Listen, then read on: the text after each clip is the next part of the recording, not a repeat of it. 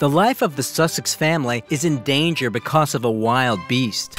It turned out that living in Santa Barbara is not safe. A mountain lion was found not far from the house of the famous couple. The wild animal can wander into the Sussex estate. After all, there is a chicken farm on its territory. Available food and water can attract the predator. It is known that California was hit by an unprecedented drought. The inhabitants of the surrounding dwellings were horrified. After all, the beast can attack not only animals and birds, children of homeowners walk in the courtyards of luxury houses. Therefore, Harry and Meghan were asked to be careful.